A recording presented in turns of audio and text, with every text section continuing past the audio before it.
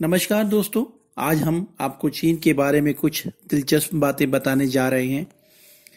चीन में 28 जनवरी को लूनर न्यू ईयर बड़े ज़ोर शोर से मनाया जाता है। तथा इस अवसर पर तमाम परंपराओं के साथ साथ खाने पीने पर भी विशेष ध्यान दिया जाता है। वैसे तो हर देश की खान पान की अपनी अलग परंपरा होती है, लेकिन चीन एक ऐसा देश है जहाँ ज़िंदा जानवरों को खाया जाता है। चीनी लोग ज़िंदा जानवर खाने के शौकीन हैं। तो आज हम आपको बताएँगे कुछ ऐसे जानवरों के बारे में, जिन्हें डिश के तौर पर ज़िंदा परोसा जाता है। सबसे पहले हम बात करते हैं मृत और ज़िंदा फ़िश की। चीन में ये एक बहुत ही पॉपुलर डिश है। इस डिश को यिंग यांग यू के नाम से जाना जाता है। इस डिश में फ़िश को ऐसे डीप फ्राई किया जाता है जिसमें कि उसका सर तेल में ना डूबे। ऐसे में फ़िश फ्रेश और ज़िंदा रहती है।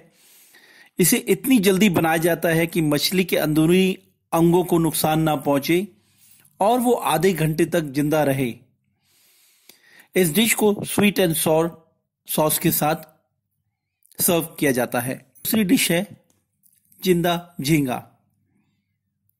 चीन में पॉपुलर डिश जुई शिया को ड्रंकन श्रिम्प नाम से जाना जाता है। इसमें झींगे को शराब में डुबो के रखा जाता है और झींगा तब मरता है जब उसे चबाया जाता है। यह डिश काफ़ी महँगी मानी जाती है, क्योंकि यह ज़िंदा सर्व की जाती है। हालाँकि चीनी सरकार ने इसे कई जगह पे प्रतिबंधित कर दिया है, लेकिन यह अभी भी आसानी से मिल जाती है। ऑयस्टर, यानी कि घोंगा उन जानवरों में से है जिन्हें चीन के साथ साथ पश्चिमी देशों में भी बड़े चाव से कच्चा या ज़िंदा परोसा जाता है। ऐसा इसलिए किया जाता है क्योंकि ये मरने के बाद घोंगा बहुत तेज़ी से खराब होता है। अगर घोंगी को शेल से निकाल दिया जाए तो ये बहुत ही जल्दी खराब हो जाता है। इसलिए इसे ज़िंदा परोसा जाता है।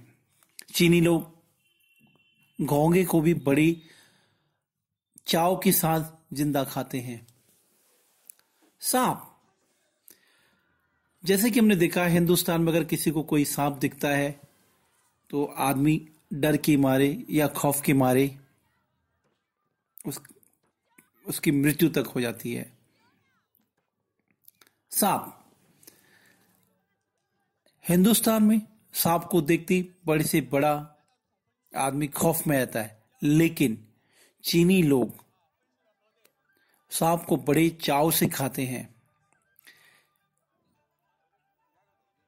शेफ को सांप के सर स्किन और आते निकालनी होती है। और सांप का ताज़ा और कच्चा मीट ही खाने के लिए परोसा जाता है। तथा चाइनीज़ लोग इसे बड़े चाव से खाते हैं।